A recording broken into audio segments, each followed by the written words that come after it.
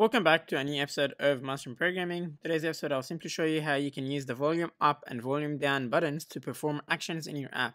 So this is similar to how Snapchat and Instagram allow you to take photos or record videos using those buttons. Today we're also going to just perform actions using those buttons.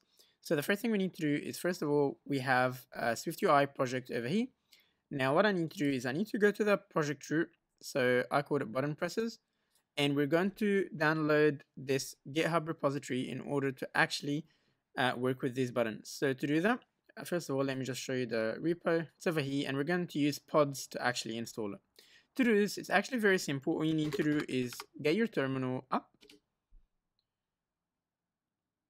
Once it loads up, what you need to do is you need to type in cd, put a space, and then drag and drop your folder. And that means that you're now inside of your folder just like this. Now what I need to do is I need to type in pod init and if you just give it a second it will create another file here that will allow us to actually edit the pods and these are basically libraries that you're using in your project. So there we go we've got a pod file that was just created. So what I will do is I'll double click on that pod file and then let's go to the Git page and you can see here that to install it from CocoaPods, what you need to do is add pod and then put the name of the pod. So let's go ahead and copy this. And there's no need for this anymore, so I'm just gonna close it. And I'm just gonna go over here and paste it, just like this. Now I'm going to save this file and I'm going to close the file and I'll get terminal again and then I'll type in pod install and what that will do is it will now go through this file and find the pods that I entered and then install it. Now we can go ahead and close this project that we had and from now on only open the white file. So let's go ahead and open it.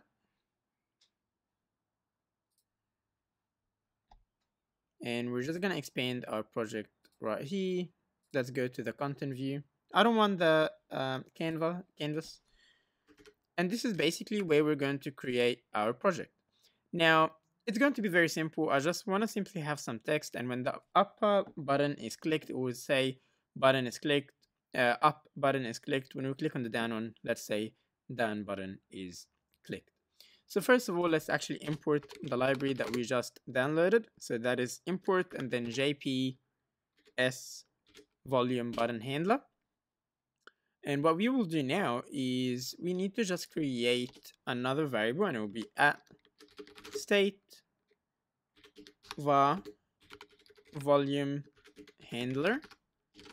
And we're going to say that it's of type GPS, JPS, sorry, volume button handler and add a question mark. Now, let's start working on our view. Now, again, it's like I mentioned, it's just going to be very simple. I'll basically have um, a VStack over here, or we can actually have it as a ZStack. Inside of here, I'll have text. For now, let's just say no button is pressed. And then once this ZStack API, so once basically our app launches and loads everything, we're going to do something. So let's say dot on API, and we're just going to replace those brackets with a zigzaggy bracket. This is, this is when we actually get to do things. So first of all, let's set our volume handler, and we're going to say JPS volume handler. We're going to open a bracket, up and down blocks. So we've got up. So what happens when the up button is clicked, and what happens when the down button is clicked. And don't worry about this error, we're gonna fix it in a second. So let's go ahead and remove this. And inside of here, we're going to put some code, which will run when the upper button is clicked. And then we're going to put um, a comma. We're going to go over here and we're going again to add another zigzaggy bracket that will run once it works. And you can see that we have, we now um, have the errors disappeared. So let's do something here. Um, now I'm going to create another variable here that will say at state var um, text to show, and this will simply have no button is pressed. and then we're just going to replace the actual text here by that variable. So text to show. Now, every time the upper button is clicked, we just want to say that text to show is equal to volume up is pressed. If the down one is, is done clicked, then we're simply going to say um, volume down is pressed. Now, this is enough to make it work, but just how we said he onAppear and then we started our volume handler, uh, what we can do is we actually need to start it first. So when it says onAppear over here, what we need to do is that we need to say volume handler equals to dot start. And inside of here, we're just going to replace that by true.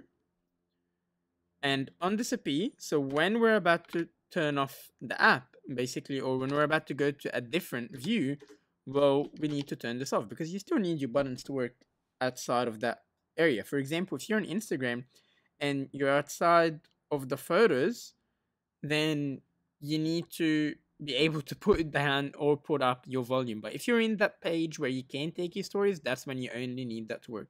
So you're gonna say something like, onDisappear, volume handler, question mark, dot start, and we're going to put false. There we go. So what I'm gonna do to test this app is I'm going to connect my iPhone and I'm going to actually share my screen and show you how that works or how that looks. Okay, so the app just loaded on the iPhone and you can see that right now it says no button is pressed, just how we set it up to. But if I click on the upper volume, you can see that it says volume up is pressed. And if I click on the bottom volume, you can see that it says volume down is pressed. And I can basically do this as many times as I want and it will keep always interacting the same way. So you can set this up to take images or videos or really set it up to do whatever you want. You can even set it up to shoot people if you're, it's a gaming game. So thanks so much for watching and I hope you did enjoy this episode. Please leave a like and subscribe to this video. Have a good day.